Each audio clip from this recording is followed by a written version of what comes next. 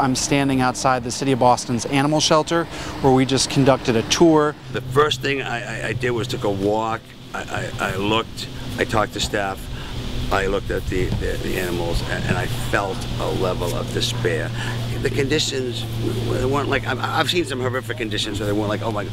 but there was like a, a feeling of, of, of, of hopelessness. The shelter has undergone a management overhaul after the Animal Rescue League found that the shelter was in crisis and there were several animals that uh, were in need of uh, medical care. About 35 animals have been removed from the shelter. What the Rescue League found was that the shelter was understaffed and did not have enough resources and was had too many dogs and cats for the number of staff they had. The city immediately moved to uh, remove the longtime acting director of animal control and has replaced him with an interim director who just gave us a tour.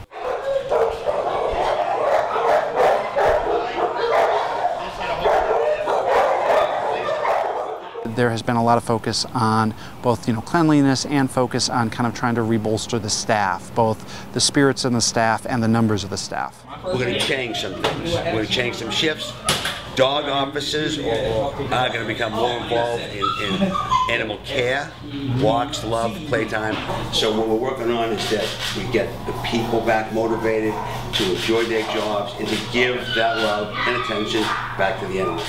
I am not an expert and I'm not a vet and have spent very little time in shelters. Uh, the shelter smelled clean. There was definitely a smell of bleach in the air. The dogs and cats, you know, crates and cages all appeared to be clean.